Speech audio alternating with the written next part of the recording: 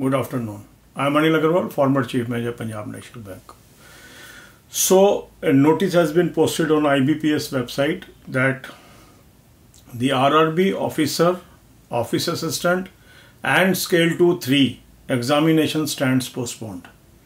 Revised schedule will be posted by them in due course. So, this is the only information available right now. So, now concentrate on IBPS PO because they have not given any dates. It seems the new dates may not be very early.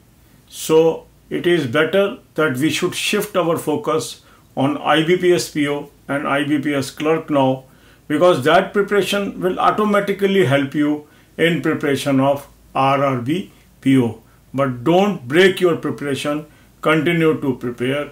All the best God bless you all अब यही बात हम हिंदी में करेंगे अभी अभी IBPS ने अब एक नोटिस अपलोड कर दिया है, जिसमें ये बता दिया है कि officer office assistant scale two scale three के एग्ज़ाम पोस्टपोन कर दिए गए हैं। डिटेल नोटिफिकेशन वो जल्द ही जारी करेंगे। इसका मतलब है कि ये अगर डिटेल नहीं दी है और डेट नहीं दी है तो थोड़ा लंबे पीरियड के बाद ये एग्ज़ाम होगा।